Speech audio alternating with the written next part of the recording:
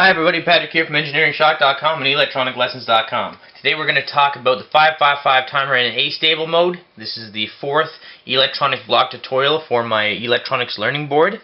Uh, this block will be a very important block in our learning board. What this will do is it will create square wave pulses. We will be able to adjust that frequency. We will talk about how to determine that frequency. Uh, we'll talk about how to hook it up. And after we're done doing that, I'm going to show you show it to you on a breadboard so that you understand exactly what's going on. So the 555 timer, the NE555, has uh, 8 pins. We'll be working with the DIP, the DIP version, dual inline package that plugs directly onto a breadboard. Um, the first pin is on the lower left. There's a notch here to denote the left-hand side. Lower left is pin 1, 2, 3, 4, 5, 6, 7, 8. So pin 1 is our supply ground, our DC ground. Pin 2 is our trigger pin. Pin 3 is our output pin. Pin 4 is our reset pin. Pin 5 control. Pin 6 discharge. Pin 7 threshold. And 8 pin 8 is our VCC, which is our power supply, uh, our power supply line. So what we're going to do is piece by piece go through the requirements for setting the circuit up so that it will create square wave pulses for us. And we can use that for uh, to trigger many things. We can ha just have it blink an LED. We can have it turn on a relay if we want to. In this case, we're just going to blink an LED. But I want you to understand how this block works, uh, so that when you actually, if you when you see our electronics learning board, which is actually up for pre-sale, link below, um, that you understand the theory behind this specific block. Anyhow, let's uh, let's talk about our power supply lines. Here's our power supply. Uh, this is a, a, schematic symbol for a battery. Uh, in this case, our battery is rated for 5 volts. The longer uh, bar is our positive. The shorter bar is our negative. This is our ground reference point, an upside down triangle. And as you can see, it's connected to our pin 1 ground. This is a reference point. Anywhere where you see this in a schematic, is connected. So imagine a wire from here to here. This is our VCC, our power supply of 5 volts. Anywhere where you see this VCC notation, you know it's connected internally. This is just a schematic reference. So here, imagine a wire connected here. So once we had, once we've done that, our our 555 timer has power applied to it. It can't do anything, but it is powered up. Next, what we have to do is we have to connect our trigger pin to our threshold pin, and we're also going to put a uh, a, cap a, capacitor on pin 5 and ground to ground because that will help the operation of the 555 timer in astable mode. As you can see, pin 5 is connected to a 10 nanofarad ceramic capacitor to ground. That will improve our the operation more more at high frequencies when we have a high frequency output. Um, but at low frequencies, it won't make much of a difference. It's always good practice to, to add that capacitor uh, to your circuit, but it's not mandatory, especially low frequencies. As you can see, I've connected my trigger pin, pin 2, to pin 6, my threshold pin. And next what we have to do is we have to tie pin 4, our reset pin, to 5 volts. If that's tied, if the reset pin is tied to ground, the output is disabled. If it's tied to the 5 volt line or to our VCC line, whatever voltage that is, uh, then the 555 timer will be enabled. So we have to tie this to VCC, and then what we're going to do is we're going to put a uh, we're going to put a, an indicator on our output. We're going to put a, a an LED, a light emitting diode, and a current limiting resistor on the output, so we can actually see it pulsing on and off at low frequencies. Pin 4 is now tied to VCC. That's our reset pin. Our chip is now enabled. It still can't do anything because we haven't we haven't uh, chosen what frequency we're going to use yet. We need a couple extra components for that. But as you can see, pin 3, our output pin, is connected to a 3990 ohm resistor. Really, it can be between 390 and 680 in this case. In the case of your VCC being 9 volts, you could actually put a 1k ohm resistor there if you wanted. That's limiting current to our diode, uh, our, our LED. Now this is our LED. The longer pin is your positive, your anode. The shorter pin, this is the schematic notation for it. The shorter pin is your negative, your cathode, uh, and it's connected to the ground line. So your VCC, uh, your power supply is connected here, here, and here. Your DC ground from your power supply is connected here, to here, to here, to here. Hopefully that makes sense. Uh, now what we have to do is we have to determine our uh, our, our RC network. And our RC network will determine the output frequency. It'll actually determine a lot of things. It will determine duty cycle, time high, time low. Uh, we're actually not going to get into time high, time low, and duty cycle. We're, we just want to pulse this on and off. But there are there's a lot more to say about this chip. However, we need two resistors and one capacitor. Let's call them RA, RB, and C. And after we actually hook up the final circuit, we this this final network, what we'll do is we'll go through a table determining how to, to calculate out our frequencies. Okay, so as you can see, RA and RB and C don't have values yet. Those are to be determined. We've got our VCC line connected to one side of RA. The second side of RA is connected to the first pin of RB. And the second pin of RB is connected to the positive side of, in this case, an electrolytic capacitor, uh, which is polarized, has a positive and a negative. Um, you don't have to use uh, a uh, an electrolytic capacitor. I'm using this because we'll likely be using uh, larger capacitors for our circuit so we can actually have really low frequencies um, as opposed to capacitors like 10 nanofarads which would actually give us uh, larger frequencies depending also depending on RA and RB. Anyway, I digress. How do we connect this to our circuit? Between RA and RB we connect our discharge line, pin 7. Between RB and C, we connected it to pin 6, which is our threshold pin. So, what I'll actually do here, which is already connected to our trigger pin. So our trigger pin is connected to pin 6 uh, which is our threshold pin. It's also connected to the network between RB and C.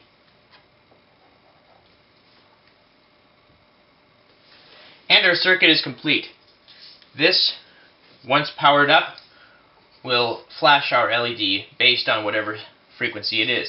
Uh, it's, it's set for. Now, if it's a higher frequency, a much higher frequency, the LED will just look like it's on because the human eye can't pick up on higher frequency ranges. But if you use an oscilloscope right here, you'll be able to see whatever frequency you've actually set it at. Now one thing to note, the 555 timer is an RC-based oscillator, therefore it is not accurate. Uh, typically resistors have a tolerance of about 5%. You can get 1% tolerance, uh, I believe even lower. Capacitors are much worse. They typically have a 10% tolerance. So if you have your output set for 100 Hz and you see 100 510 hertz or 90 hertz, don't be surprised. It's based on the accuracy, uh, or sorry, the tolerance of your three timing components. Anyhow, put this together, but first of all, let's go through a table uh, and we'll determine some frequencies. Our calculation for frequency is 1.44 divided by 2 times RB plus RA and then take that value multiplied by C. So how I would make this calculation is I would take 2 times RB, add that to RA, the value, then I would take that value and multiply it by our capacitor value. Once I have that, I would take, uh, I would have, record that value, 1.44 divided by that. Now if I had a calculator, it, wouldn't, it would be much easier. Um, obviously, BEDMAS would be involved. Uh, so what we're, we're going to do is we're going to do a few examples. Now what I have here is a table, RA, our B, C, uh, and the uh, basically the decimal equivalent of our capacitor. You'll see what I mean in a minute, and our output frequency. So in the case of RA, 10K. K is 1,000, 10,000 ohms. RB as well, 10K. Um, and let's have a 10 micro farad electrolytic capacitor C. So 10 micro is equivalent of 0.00001. Now, if you don't, if you're not familiar with these notations, then uh, I have another video that I'll also be linking below so that you can understand what 10 micro means or 10 nano, 100 milli, 10k. You'll understand that. 10 micro equals 0.00001.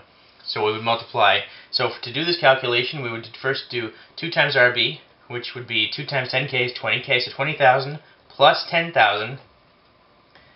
Multiply that, that total by 0.00001, record that value, and then take 1.44 and divide it by that total value. That will give us our output frequency. And our output frequency is basically a value that will determine how, how often the output is pulsed. So we'll actually see that in a few minutes when we do a lab, but pause it now, try to do this calculation, see if you match what I get for your output frequency. I'm hoping you got 4.8. Uh, frequency is measured in hertz. Uh, this means that the output will go from high to low 4.8 times a second. Uh, if we had the, an output of 1 kilohertz, 1 kHz, that would mean that the output would turn on and off 1,000 times a second. 100 hertz means the output goes on and off 100 times a second.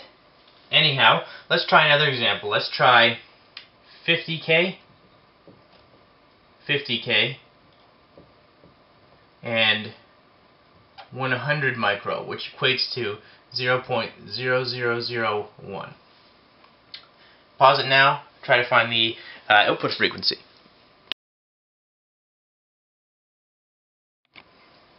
Hopefully you got 0.096 hertz as well.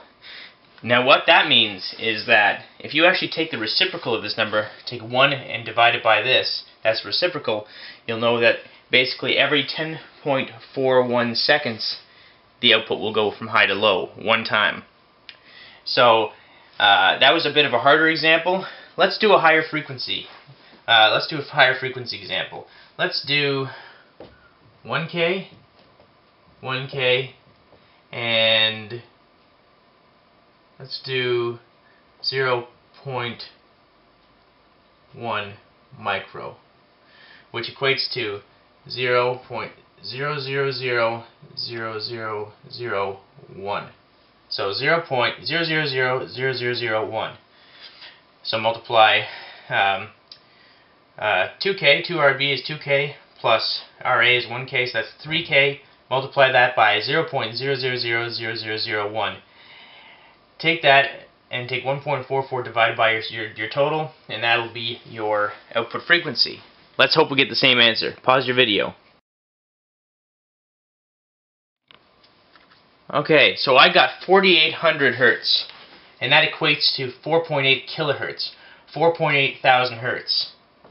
Um, hopefully you got the same answer.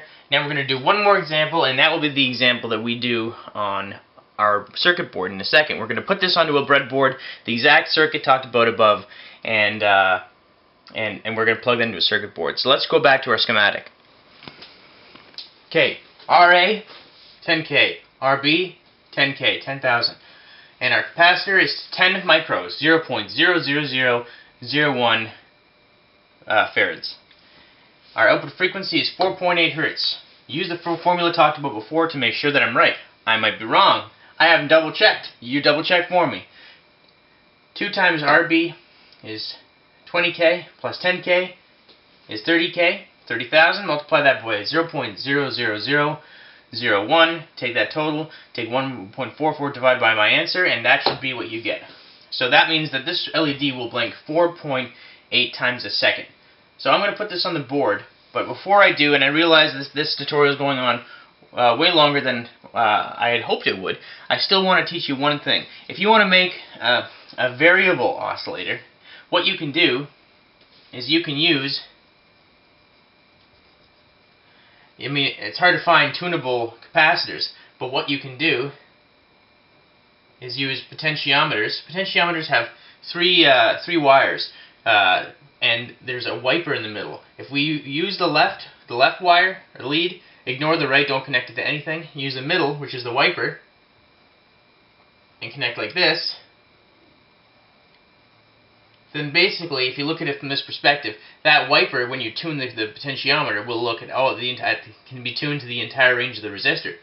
So, if this was a 10k ohm potentiometer, you could tune to anywhere between 0 and 10k. And you could also manipulate RB. Now, if you want to learn more about the 555 timer, in addition, you want to learn about duty cycle, time high, time low. In this case, it doesn't matter. But this is how you would connect a potentiometer. You would ignore the right pins, use the middle pins as the wiper, and you'd be able to tune them, use it with a little screwdriver, and you'd connect them as such. So that's just an option. Uh, I'm not going to do that today, but I'm going to, but on the uh, electronics learning board, this is how we have it set up. Two potentiometers for RA and RB, uh, which allow you to really have a lot of, um, which gives you a lot of allowance relative to frequency adjustment. Okay, finally, let's put this on a breadboard. 10K RB, 10K RA, and 10 micro for C. I've connected a red wire to pin 8, our VCC line, a black wire to our ground line, pin 1, and I will be applying power here. I will be applying 5 volts. I've connected our 5 volt line, our VCC line, to our reset line. I'm pulling reset to, to our power supply voltage so that the chip is enabled. Again, if that if the reset line pin 4 is grounded, the chip will not operate. Will, the output will be disabled. I've taken a 390 ohm resistor between pin 3 and the positive longer lead of our LED, our anode, and I've connected the shorter lead of the LED, the cathode, to our ground line, which is on pin 1. Next, I'm going to take a 10 nanofarad capacitor, an electrolytic capacitor, place it between pin 5 and ground. There's our capacitor. Next, I'm going to connect our trigger pin, pin 2, to our threshold pin, pin 6. I know it's a little bit blurry, I'm sorry about that. So Blue is our connection between pin 2 and pin 6. Uh, red is our VCC pin, pin 8 to pin 4 reset. And now what we have to do, all we have left to do is to create our RC network. So what I'm going to do is I'm going to create the RC network along here and take wires and connect them to the relative pins.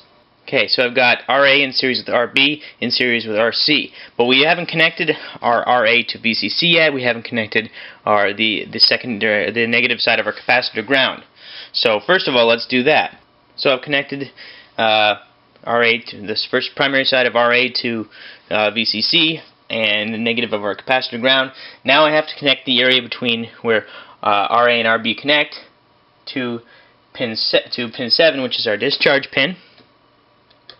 I'll do that right now. And then what I have to do is make our last connection between where RB meets the positive side of the capacitor to pin 6, which is our threshold pin. Now we power it up and we'll see if it works. Apply 5 volts to your circuit. You can also use 9 volts. So that's pulsing roughly 4.5, uh, 4.8 times a second. So there you have it. So that output is basically 0 and 5 volts. Uh, consider 0 0 volts ground to be a 0, 5 volts to be a 1 in binary. Because we'll be using that later. We're going to apply this to a counter circuit. Now, the counter circuit is coming next. I'm going to talk about the 74LS93. Now, if you've watched, been watching these block videos, you might be able to determine soon just how to plug them all together. But that's the whole point of the electronics learning board. So hopefully, I'm hoping that you'll uh, check the link below for the uh, pre-order option. Um, it will come with several peripherals, fully assembled and tested. It'll also come with an AC adapter, so it's plug and play. Very easy to use. You're going to use all of these upcoming block tutorials, and I'm going to make videos for all of the projects so that you uh, and whoever you're working with can, can learn along with me. Anyhow, thank you for watching. and sincerely appreciate it. Please keep uh, keep an eye out for upcoming block tutorials.